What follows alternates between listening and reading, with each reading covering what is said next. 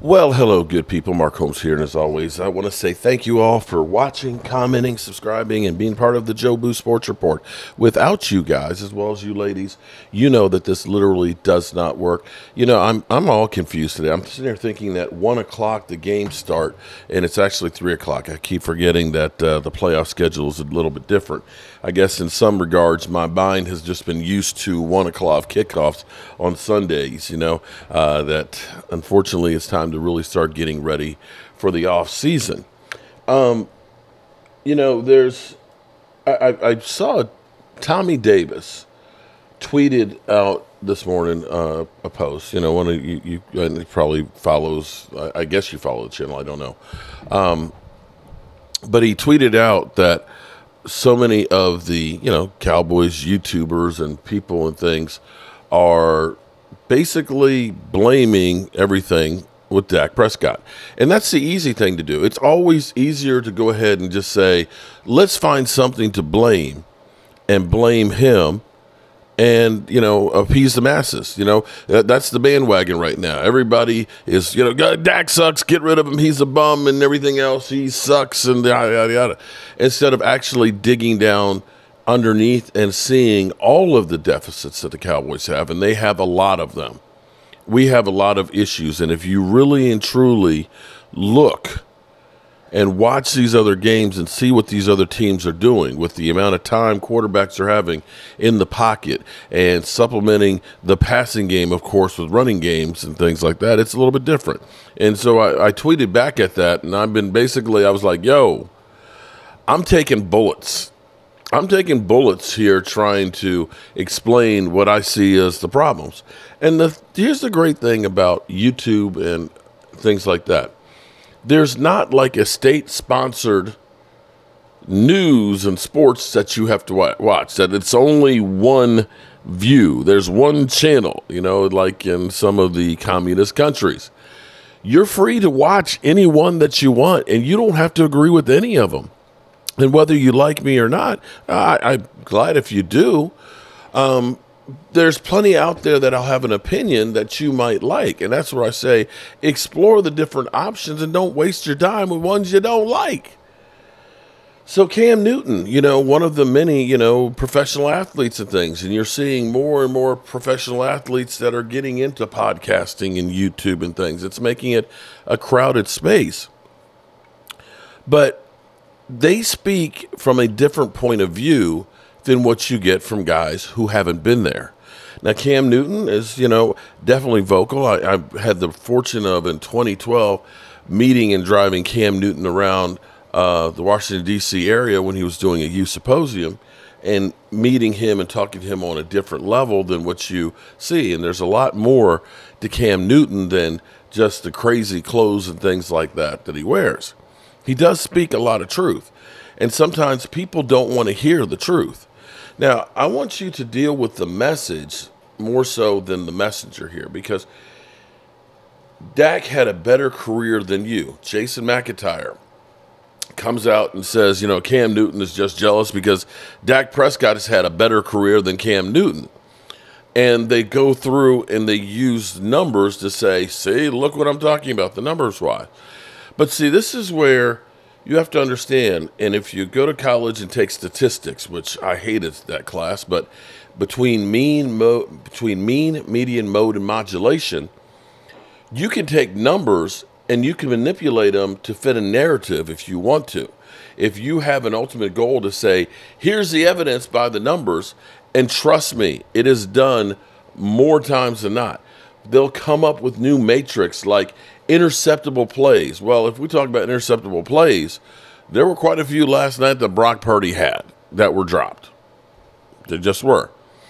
You can always find a narrative, excuse me, a number to fit your narrative. And Cam Newton kind of bitch slaps this one with Jason McIntyre's old case of Dak Prescott's got a better career than you do. What I will say is, because here's the thing you can say, if you pick and say Dak Prescott's passing career is better than Cam Newton's, that's a fact. But you have to look at it in totality because of also the dynamics that Cam Newton had of being able to run. let's listen to Cam Newton on here. I think this is a really good take here.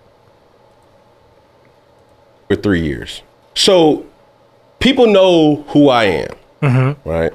Let's speak on what I spoke about. The the gist of his conversation was that Dak had a better career than Cam.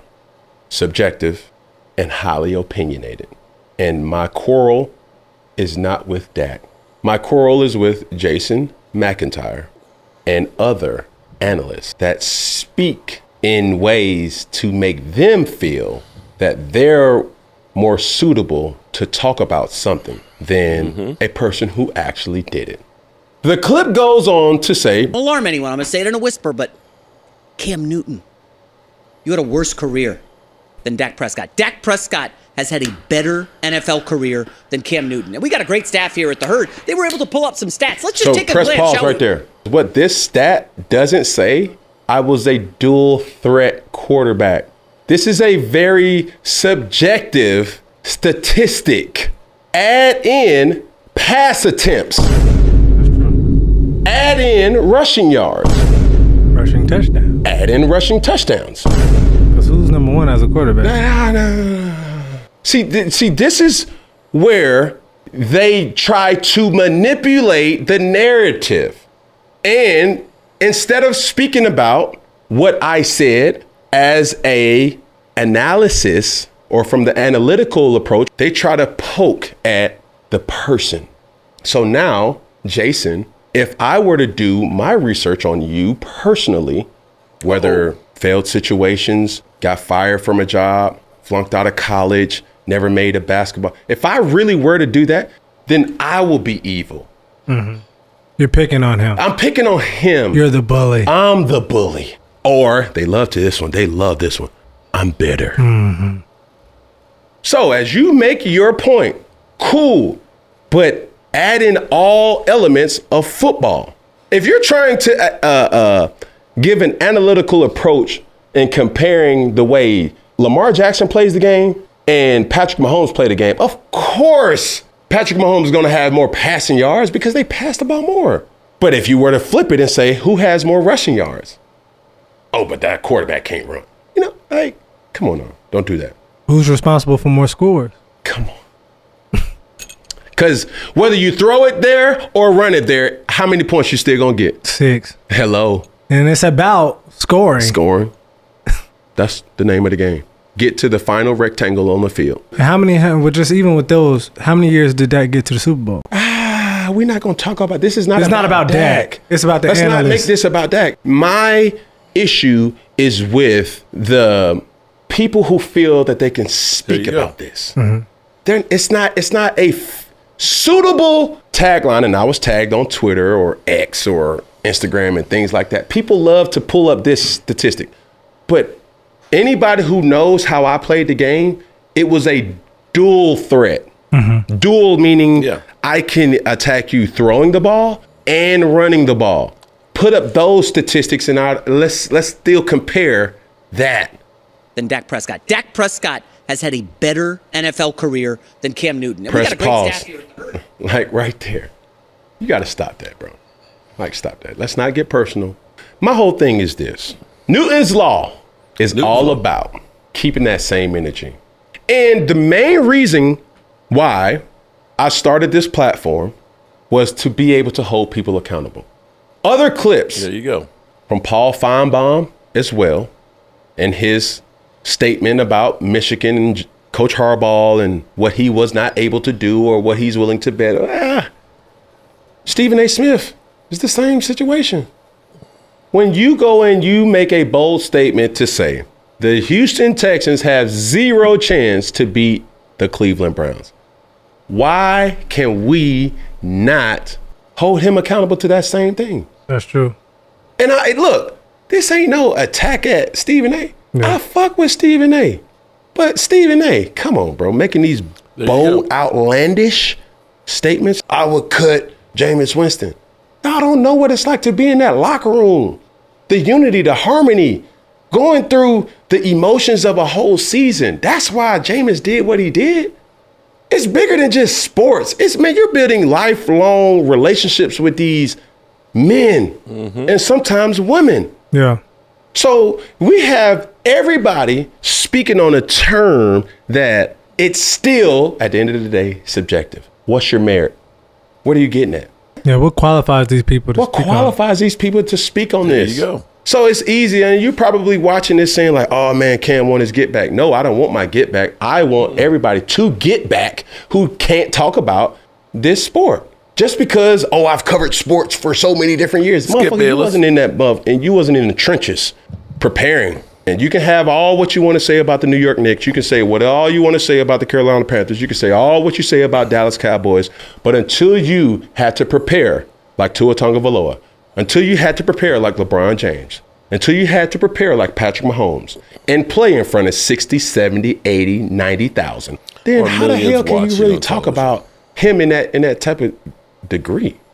And we do have the clip, and it wasn't just Stephen A. It was on the Pat McAfee show. The person spoke to C.J. Stroud and, and kind of talked about uh, their chances of uh, them winning. Play the We'll, clip. we'll, we'll, we'll. CJ Titus mentioned We'll, we'll, we'll leave it right there. But don't deal with the messenger. Deal with the message. The thing is, is they come through without having any knowledge and experience. You know, Skip Bayless will famously tell you, "I've covered football for 20." Who cares? Who cares? If you have not been in that huddle down by six, with you need a game-winning drive, you're tired, you your body is sore you got the weight of the world. You don't know what it's like. You don't know what it's like. And Cam Newton, he hits the nail on the head. And, you know, I'm not going to be one here saying that Dak Prescott's career is better than Cam Newton. Cam Newton had a 15 and 1 season. They went to the Super Bowl. They just got into a buzzsaw against um, Denver. Cam Newton never really had support around him in great offense. He had Steven Smith, uh, uh, Steven Smith, Steve Smith as a wide receiver was his best wide receiver, but he never had great coaching. We see what Ron Rivera is as a head coach.